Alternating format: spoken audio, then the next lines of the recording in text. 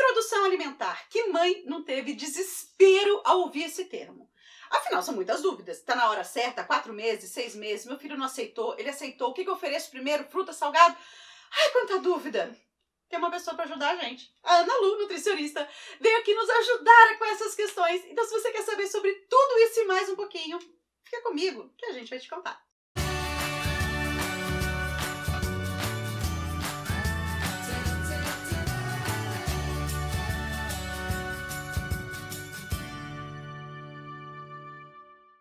Olá, eu sou a Mônica Romero, essa é a Ana Lúcia e nós estamos super felizes de ter você aqui no Almanac dos Pais. Ana Lúcia é nutricionista funcional e ela veio tirar aqui nossas dúvidas sobre introdução alimentar. Lembrando sempre que a introdução alimentar vai começar quando o seu pediatra falar que o seu filho está pronto para isso. Não é a Ana Lúcia que vai falar, ela só vai ajudar você com aquelas dicas, o que fazer, se ele não aceitou, um outro substituto de alimento que possa ser legal e outros segredinhos que ela tem, sabe aqueles purinhos de gato que a gente sempre quer? Então, ela tem vários para contar um pouquinho pra gente. Vamos Tudo lá. bem, Ana Lúcia? Tudo bem, e você? Tudo ótimo. Vamos começar? Já vamos, Vamos. com o ritmo todo? Vamos lá. Tem muita Todas as pergunta. perguntas. A gente não vai conseguir ver todas, tá, gente? Agradeço. As perguntas foram enviadas lá no meu perfil do Instagram. Não me segue, é por isso que você não mandou pergunta pra mim. Sua pergunta podia estar aqui. Então me segue lá, o Maraca dos Pais. Aproveita e também segue Ana Lúcia. Seu perfil é? Arroba Nutri Ana Lu Costa Canela. Na dúvida, tá no descritivo do vídeo, tá bom? Vamos lá. Cíntia perguntou: Minha bebê tem seis meses e não aceita os alimentos. Tem problema ela continuar só com leite materno?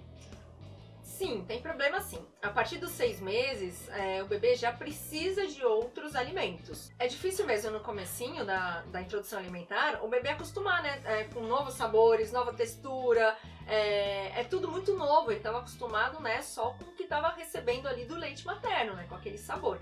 Então persista, né? Muda o alimento, muda a consistência. É, tava no alimentos mais docinhos, tipo cenoura, batata, é, batata doce, vai para um alimento um pouquinho mais ácido, é, chuchu, é, vai para uma beterraba, vai alternando que uma hora esse nenê começa a se acostumar com esse alimento. Uma coisa legal, quero até compartilhar. Quando eu comecei a introdução alimentar das crianças, eu lembro que eu esperava que eles iam abrir aquele bocão e engolir felizes, que nem a gente imagina que é no cinema.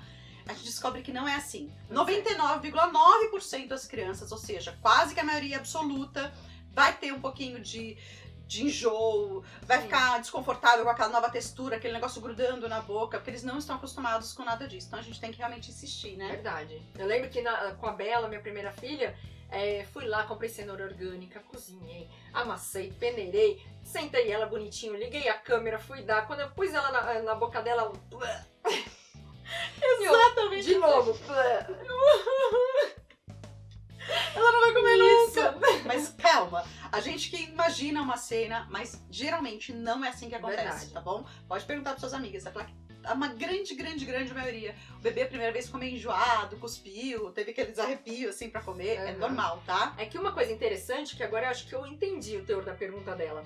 É, pode continuar sua colete materno? Por quê? Porque é isso, dá uma aflição, né? A mãe fica tão desesperada que, ai, quer saber? Eu vou deixar pra mais tarde, vou continuar no leite, pra ter certeza de que ele tá, né, se nutrindo. E aí, quanto mais leite você der na hora que seria a papinha, menos ele vai querer comer a papinha. Então fica atenta nisso também, tá? Não esquece que o leite pra ele é conforto, é tudo de bom que ele mais quer. E se ele souber que se ele fizer um charminho pra não comer, ele vai ganhar o leite, é exatamente assim que ele vai aprender, tá? Então a gente tem que Verdade. tomar um pouquinho com os nossos atos, porque ele vai achar que vai ser uma premiação. Faço careta, ganho mais leite. Então a gente tem que tomar cuidado. Se o pediatra já orientou que tá na hora de começar a introdução alimentar, hora de começar Nada a a introdução alimentar. Pode ser difícil, mas vai ter sucesso. Fica tranquilo. A Loma fez uma pergunta bacana. A introdução alimentar do neném pode ser com 4 meses ou somente com 6 meses? Ideal sempre com seis meses, tá? O pediatra pode orientar com quatro meses se de repente essa criança tá com fórmula, não tá ganhando peso legal e ele achar necessário. Mas assim, o ideal é que seja com seis meses de vida. Que daí o intestino, todos os órgãos dele já estão prontos para receber esse alimento, né? Exatamente. A Thay Gomes fez uma pergunta excelente. A introdução alimentar é melhor começar com comidinhas ou frutinhas? Então vamos lá, isso é, depende muito de cada médico, de cada nutricionista. Eu, particularmente, prefiro começar com papinha, tá? A salgada, não com as frutinhas. Por quê? O leite materno já tem um sabor doce. Se a gente começa com as frutinhas, é claro que a aceitação vai ser muito maior. E depois, para introduzir a papinha salgada, né, dos legumes e por aí vai, pode ser mais difícil. Então, eu particularmente começo com as papinhas salgadas, com os legumes, e depois vai aumentando a quantidade, vai colocando cereais, tubérculos e por aí vai. Pra depois colocar as frutinhas. Ah, Eu também segui esse mesmo passo. Até porque a aceitação da fruta é mais fácil. Então, por nosso conforto materno, você vai ver a frutinha que tá indo bem, você vai ficar super feliz. Só que, ao contrário do que a gente gostaria, ele não vai pegar a fruta e achar o máximo salgado. Geralmente ele vai estranhar um pouco o salgado. Então começa o salgado, quando for com a fruta, ele já tá indo super bem. Ótimo. A Jaque fez uma pergunta complicada, hein? Hum. Uma cilada pra você. Lá vem. Minha bebê é a PLV, ela tem alergia à proteína do leite de vaca. Eu posso iniciar a introdução alimentar dela igual aos outros bebês? Sim, geralmente, é, acho que esse igual quer dizer de seis meses, provavelmente. Ah, Jaque, conta pra nós. Pode ser. eu acho que pode ser por esse período de seis meses, se for isso sim. Mas também pode ser igual. É, Os mesmos alimentos. mesmos alimentos. E aí, é, e aí, claro que não, né? O bebê que tem essa alergia ao leite de vaca, ele não pode ingerir nada que tenha leite de vaca, é, nem seus derivados. Né, por conta, até a maior, o maior dos casos da alergia do leite de vaca é por conta da caseína. Então, assim, não dá pra gente tirar a caseína do leite de vaca como a gente tira a lactose, por exemplo. Então, tem que ter uma introdução alimentar bem parecida com os outros bebês, mas sem o leite e derivados. 100, não é nem um pouquinho, tá? É 100 100. mesmo. A, a Lucivânia perguntou uma coisa que eu acho essencial. Posso congelar comidinha do bebê e por quanto tempo? Sim, pode. Mesmo porque nesse período a mãe tá enlouquecida, né? E quando vai fazer, você já faz três, quatro panelas ali, Sim, já, já agiliza. faz um monte. Eu fazia isso. Um monte de panelada. Eu fazia assim umas quatro paneladas com papinhas diferentes. E aí você congela quatro, cinco tipos de papinhas diferentes de um- uma vez só que você ficou ali no fogão. Congela em potinhos de vidro, põe ali no freezer até três meses, garantido. Tem algum, que não, algum alimento que não é legal congelar, que não dá muito certo? Não. Tipo batata, não É fica eu mais quebradiça? se tiver dentro de uma papinha, batata, misturada, tudo bem. Se tiver separado, sim, ela vai ficar meio Areosa. estranha, isso, areiosa, tá? A batata, a batata doce. Agora, se tiver no meio de uma papinha misturado com outros cereais, não tem problema nenhum, pode congelar. Bom saber, hein? A Dani perguntou o seguinte: devo fazer sopinhas ou começar por um legume de cada vez? Eu, particularmente, prefiro um legume de cada vez, pelo menos nessas duas primeiras semanas, né? 15 dias. Então, é, cenourinha. Vai lá, faz a cenourinha, dá dois dias cenourinha, vê se a criança não sentiu nada, não teve reação, sentiu o paladar, ela vai sentir o gosto da cenoura. No outro dia, beterraba. No outro dia, batata doce. E aí ela vai sentir o gosto de cada alimento. Então, depois, quando lá pelo 15º dia isso virar uma mistureba, né? Pelo menos a criança já tem aquela memória de cada um daqueles legumes. O que eu acho Legal. muito mais legal. Legal, gostei também. Eu não fiz assim, eu fiz sopinha. e a Michelle fez uma pergunta super interessante. Por que não pode dar morango para bebês de 5 meses, mas abacaxi pode? Bom, de cinco meses a gente deveria só dar o leite materno, certo? Leite Só se, é claro, teve uma introdução alimentar precoce aí com quatro meses, pode acontecer. É, Orientação do pediatra, orientação sempre. do pediatra, claro, sempre. E aí, provavelmente, o morango tá aí é, como proibido por conta da quantidade de agrotóxico que ele, que ele carrega, né? É, o abacaxi já não carrega tanto. Claro que assim, uma alimentação orgânica seria muito mais legal para o bebê, mas nem todo mundo tem acesso. Então, assim, pelo menos alimentos que se podem evitar, que tem mais agrotóxico, melhor. Como, por exemplo, morango, pêssego, pimentão, é, o tomate. Então, provavelmente, nesse caso, essa pergunta deve ser por causa disso. O mamão papaya foi proibido durante um período pra mim por conta de, de agrotóxico. Pra não dar pras crianças. Eu precisava comprar o Formosa ao invés do papaya, porque o papaya tá com uma concentração super alta. Já normalizou ou o negócio continua punk? Não, ainda continua. Então, Ainda melhor o. Formosa Melhor. Formosa, e se for comprar o papaya, melhor comprar o orgânico. orgânico. Papai é aquele pequenininho, o Formosa é aquele grandão. E o Formosa também tem maravilhosos super doces, tá? Não tem um preconceito Sim, pelo tamanho delicioso. dele, não. Muito bom. Mais uma pergunta bem legal. A Cíntia perguntou assim: posso ir dando todos os tipos de fruta? Como saber quanto que o bebê deve comer? Legal. É, sim, as frutas são super bem-vindas, né? E cada um tem um, tem um sabor muito característico, né? Então é legal para até saber o, seu, o quanto seu bebê aí gosta de uma ou de outra. É, até os dois anos de idade, o bebê forma todo o banco de alimentar, né? De sabores. Então, quanto mais variado for essas frutas, melhor. Ah, e a quantidade, né? Então, assim, muitas mães ficam desesperadas. Ai, meu bebê come pouco. Ai, o meu come demais. Então, assim, um bebê até dois anos, eles têm muito forte neles é, a saciedade. Então, assim, eles sabem dizer o quanto já deu. Né? Diferentemente depois disso, que vai as pessoas oferecendo mais ou querendo que coma mais, isso vai se perdendo. Mas até dois anos de idade, eles têm muito forte isso. Então, assim, deu uma colherada de fruta, duas, o bebê já não quer mais? Ok, chega por aí. Ai, mas, ai, mas o meu bebê eu vou dando quatro, cinco, ele vai comendo. Ok. Né? Então, assim, cada bebê é de um jeito, cada bebê tem um peso, cada bebê tem uma preferência também, né? Tem bebês que, ai, meu bebê adora papinha salgada, come um monte fruta já não muito. E tá tudo bem, né? Isso vai se formando, vai formando esse banco alimentar até os dois anos aí, então vai estimulando. Né, e vai sempre verificando ali com o pediatra o peso, a altura, né, saber a qualidade, a quantidade de nutriente que ele está comendo, que tá tudo beleza. E agora, essa pergunta não tá aqui, mas a gente teve um papinho antes de gravar aqui e eu vou pedir para ela falar um pouquinho sobre isso. Fruta, posso dar? qualquer momento, qualquer hora do dia, posso dar sempre de sobremesa, no café da manhã, no almoço, jantar, como é que eu faço? Então, o que é legal de fruta, né? Depois que o bebê já teve a introdução alimentar, já tá com todas as refeições aí definidas, o que é legal ter? No café da manhã uma fruta, se esse bebê tem o café da manhã muito cedo, né, e fica mais de 3 horas sem comer até o almoço, é legal ter aí no meio da manhã uma fruta também, né? Pode até ter um outro lanchinho, mas ter uma fruta. Pós-almoço, como uma sobremesa, é legal ter uma fruta mesmo porque a maioria das frutas é rica em vitamina C e a vitamina C ajuda o ferro dessa refeição, né, que geralmente tem mais ferro que as outras, né, né no almoço e no jantar, a ser absorvido, então é legal ter aí de sobremesa e no meio da tarde.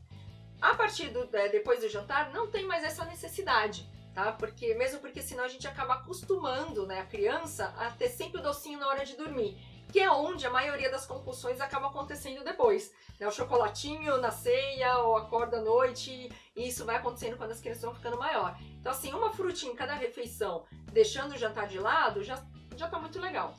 E esse hábito, eu vou falar para você porque é exatamente o jeito que eu fui instruída que eu fiz com meus filhos. Então, quando acaba o almoço, eles pedem, eles pedem uma fruta, eles pedem uma gelatina, eles pedem alguma coisa. Quando acaba o jantar, eles nunca pedem. Eles não têm realmente esse hábito de legal. doce à noite. Então, é uma coisa que é legal construir com as crianças. Ótimo. Eu tenho o hábito de doce à noite, mas eu como escondida. Afinal, pareço boa mãe, mas como doce escondido dos meus filhos, sim. Todas mães. Mas é legal a gente ir criando esses hábitos. Se meus filhos não tiverem esse hábito quando eles forem adultos, eu vou ficar muito feliz que eu só prejudiquei a mim e jamais a eles. A Meire fez uma pergunta fenomenal. Como posso administrar as mamadas na introdução alimentar? Como Legal. é que fica? A bebê mamou livre demanda durante todos os seis meses de vida. Uhum. Comecei a introdução alimentar, continua livre demanda, como que é? Legal.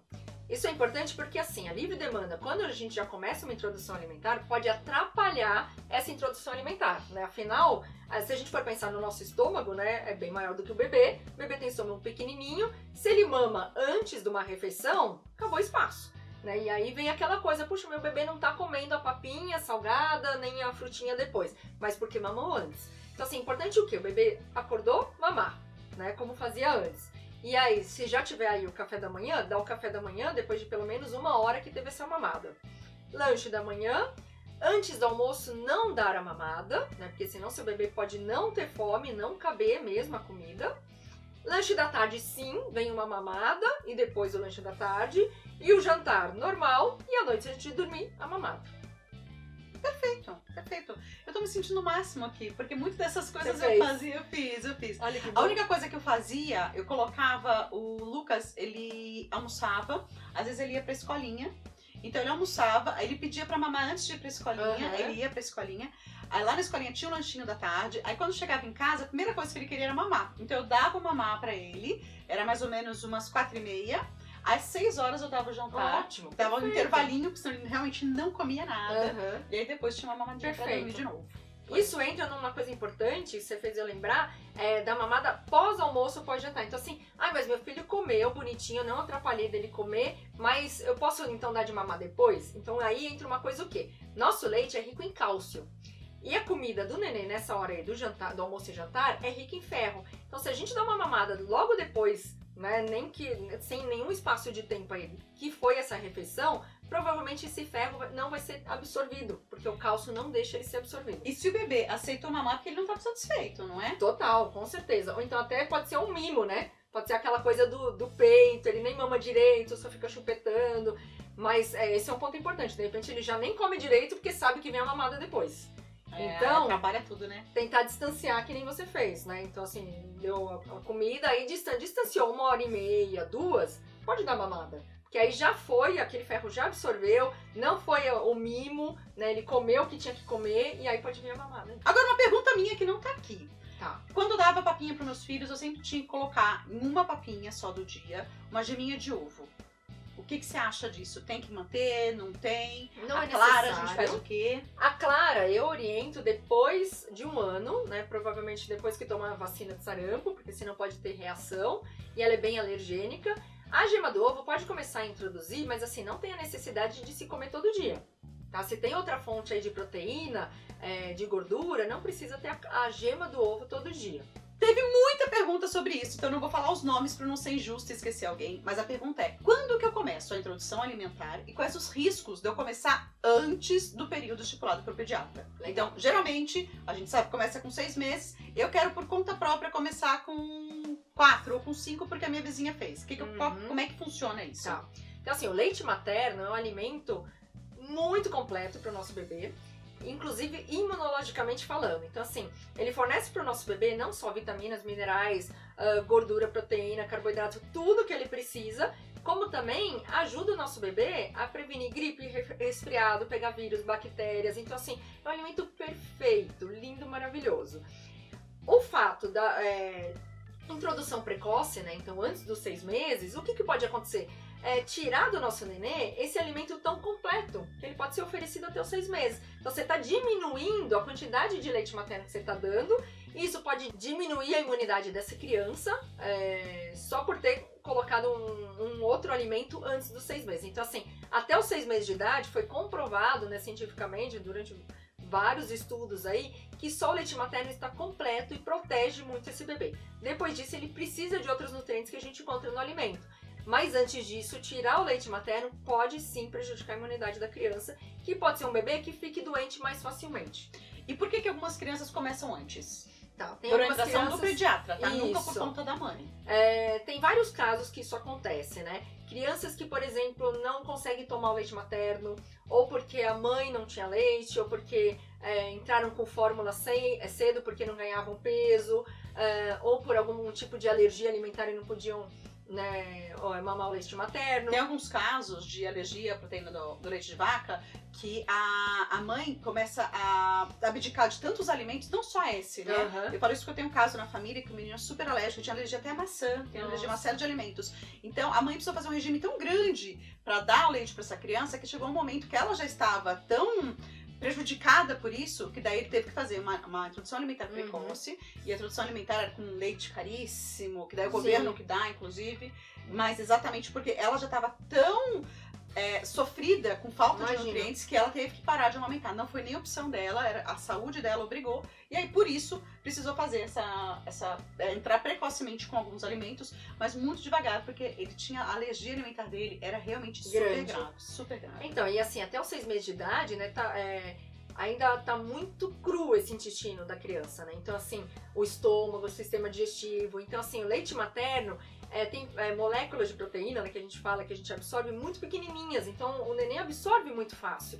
Quando a gente dá qualquer outro alimento, né, é, as moléculas são maiores, então assim, a digestão fica prejudicada, todo o sistema digestório fica prejudicado. Então pode dar obstipação, né? Pode ser, pode ser, pode dar refluxo. Então assim, como introdução precoce, tem que se dar fórmulas infantis especializadas para isso, né? Não pode se dar qualquer leite, qualquer fórmula, qualquer bebida ou qualquer alimento. Tem que ser muito bem orientado. E por fim, uma última pergunta. O intestino do bebê. Comecei a introdução alimentar, o bebê começou a ficar com o intestino mais preso. Quais alimentos que eu posso dar? Às vezes tô dando uma mão, não tá sendo suficiente. Tô fazendo a técnica do colocar o algodão morninho ali perto do ânus do bebê para ele ficar. Ajuda muito, tá? Fica a dica, porque isso ajuda muito mesmo. E não tô adiantando. Na parte alimentar, o que que eu posso fazer para ajudar meu bebê a fazer popó? Legal. É, uma coisa que adianta muito é acrescentar um pouquinho de gordura, claro que uma gordura legal, como azeite, na papinha do nenê. Né? Então, na hora de servir, acrescentar uma colherzinha de café de azeite. Muito legal. É, outra coisa que adianta muito, que é bem legal, é o que? Deixar duas ameixas secas num copinho de água da noite para o dia, ou então 8 horas ali. Essa água vocês vão ver que vai ficar meio escurecida, porque sai bastante da substância ali da ameixa na água. Pode dar essa aguinha para ele beber, ou bater ou amassar essa ameixa junto com uma bananinha, alguma outra comida e dar para ele comer também. Então, assim, a, essa ameixa tem bastante substância que ajuda no peristaltismo do bebê. Então, vai ajudar bastante. Peristaltismo é aquele movimento que a gente fala do intestino para poder expulsar Empurrar o cocôzinho ali. E por último, a Gisele fez uma pergunta que é assim, ó. Meu bebê faz muito cocô, mesmo batendo papinha no liquidificador. Devo mudar? Bom, primeiro que não por causa do cocô, mas deve mudar. A papinha não se bate no liquidificador. Mas eu entendi a pergunta que assim, a, a- a papinha no liquidificador, ela perde muitas fibras, Sim. né? É, liquidifica as fibras. Então, assim, ela, ela quer dizer, né, que mesmo sem fibra na alimentação, o nenê dela faz muito cocô.